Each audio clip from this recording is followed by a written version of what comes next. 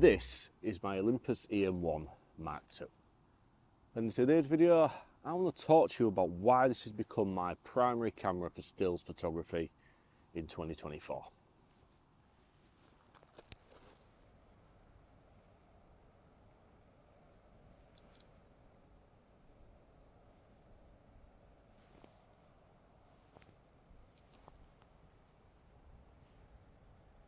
So one of my favourite features of this Olympus EM1 Mark II is the live composite mode. It's similar to photo stacking in Photoshop. You know when you take a bunch of photos, the same exposure, tripod, camera still, light trails and star trails and you stack them all together and you get something that looks like it was taken over a really long period of time but it's a series of individual photographs well, that is what this camera can do all by itself. And this first photograph I'm going to take today is going to use that live composite mode. So there's a concrete slab in front of me and the Humber Bridge in the background. I put a 10 stop filter on, a polarizing filter, f7.1 ISO 200. It's giving us a two and a half second exposure. Now if I put live composite on and just let the shutter go for five minutes, we'll get something that looks like a long exposure photograph in lighting conditions that wouldn't normally allow for a long exposure photograph. And it's all done in camera and it outputs a raw file, it's great for editing. So that photo's taken itself. I'll let it go for five minutes and I'll show you the end result.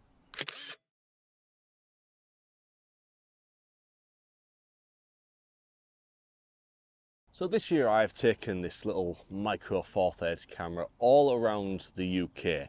I've been to the mountains of Glencoe with it, I've been to the north coast of Scotland with it, I've been to the east coast of the UK with it, I've been to the Peak District, the Yorkshire Dales, the Yorkshire Moors and now the Humber Bridge. And I've taken hundreds of photos this year with this camera.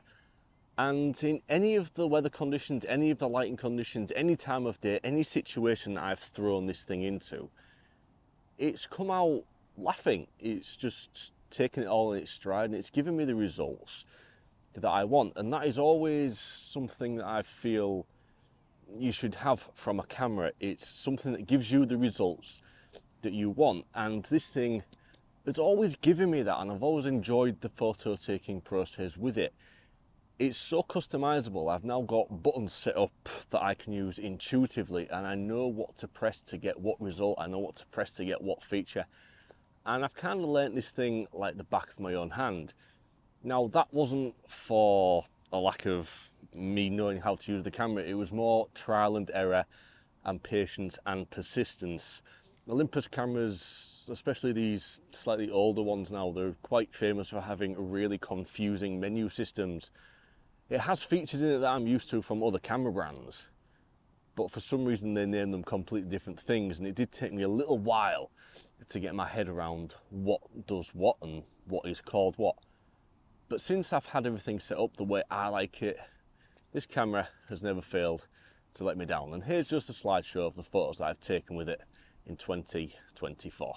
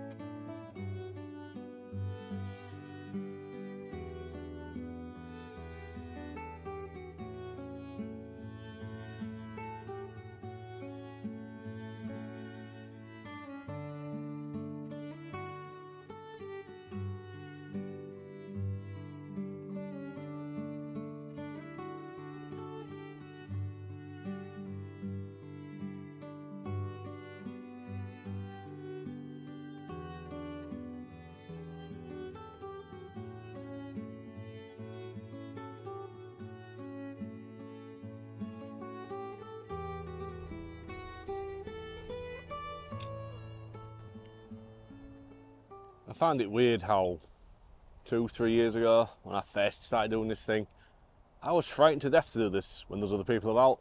Now, Humber Bridge, dog walkers, hikers, cars and traffic going by. It's funny how a little bit of experience and yeah, I guess I'm kind of comfortable with it these days, but yeah, it's funny. A couple of years ago, I would have never have done this at the Humber Bridge. Here's that photo.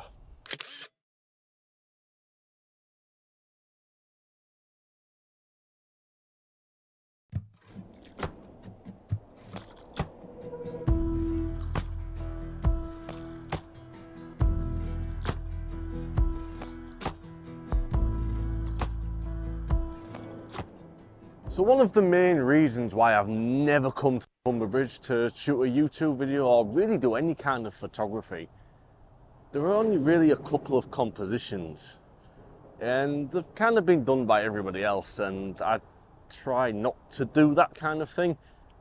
Uh, this shot behind me is one of the compositions and well, we're here, we might as well shoot it. I'm going to use one of my other favourite features of the Olympus EM1 Mark II, and that is the high resolution shooting mode. Natively, the camera has a 20 megapixel sensor, but the high resolution mode allows you to take 80 megapixel RAW files using the camera's pixel shift. Pixel shift, I can't say that, pixel shift. Essentially, it takes a photograph and then seven other photographs moving the sensor around, the pixels overlay, pixels overlap, the pixels get sliced and diced. You get smaller pixels, higher resolution, a lot more detail. And I'm also going to attempt a long exposure photograph with this, something I've never done before.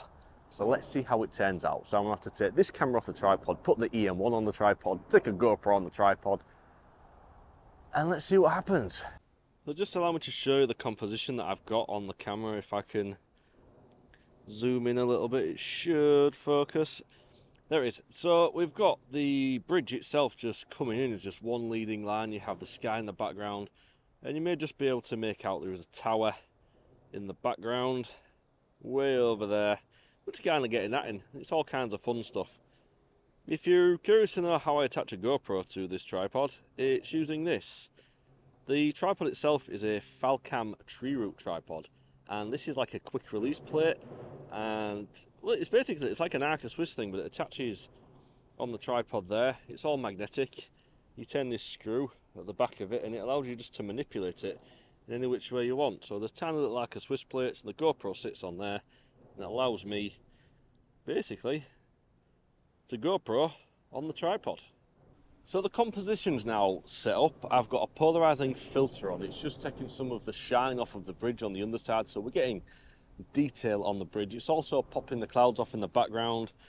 I'm not too concerned about the water with this shot because well, there really isn't a lot of water in the shot. So I'm just to try and turn on high res mode. Now, I have to be careful here because the last time I shot high res mode, I was in JPEG only. But I can see on the back of the camera now, if I press information, I have 50 megapixel fine plus RAW. So that's going to give me a 50 megapixel fine JPEG photograph and the full 80 megapixel RAW file, which is kind of where I made a boo-boo last time. So let's have a look at some camera settings. Let's throw this into manual mode at the moment because we are in aperture priority mode. And let's see what she's giving me. I've got 10 stops, so that will be down f22. We'll be sort of around f7, f8. The beautiful thing about micro four thirds cameras is the crop factor and depth of field. I shoot a lot of landscape photography where I kind of need a lot of depth of field. I don't often shoot anything where I really want to blur a background, and this is where the micro four thirds really shines and performs for me because I can get more depth of field at narrower apertures than you can on a full frame or an APS-C camera that's kind of just one of the things that draws me to this camera and this system in particular. Now, I'm down at f8 ISO 200, so that's giving me a 1.6 second exposure, and I don't think that's long enough, so I'm just going to throw a 6 stop filter on the front of this as well and see where that gets us. At the 6, 64, there is the 6. If I stack this on front of that one, there we go. So now we've got 16 stops of filtering action going on. There we go. So down at F8, that's giving me 30 seconds. F10 is giving me 50. Here we go. Here is a 50 second long exposure high resolution photograph on the Olympus EM1 Mark II. Hopefully it turns out alright. Because water and this thing, the stitching looks a bit iffy at times when there's movement. And I'm doing a long exposure photograph and it's got to take eight of them. I've just realised how stupid this is. This is going to take eight minutes. I'm not going to talk to you for eight minutes. I'll show you it when it's finished.